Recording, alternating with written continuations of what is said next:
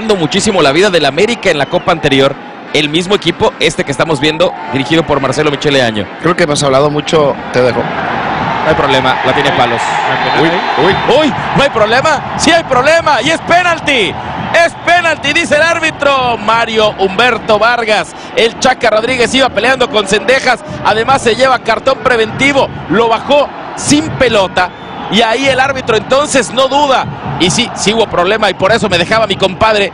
Aquí vemos el trazo. Es bueno, parecía que estaba todo, de hecho estaba todo controlado por palos.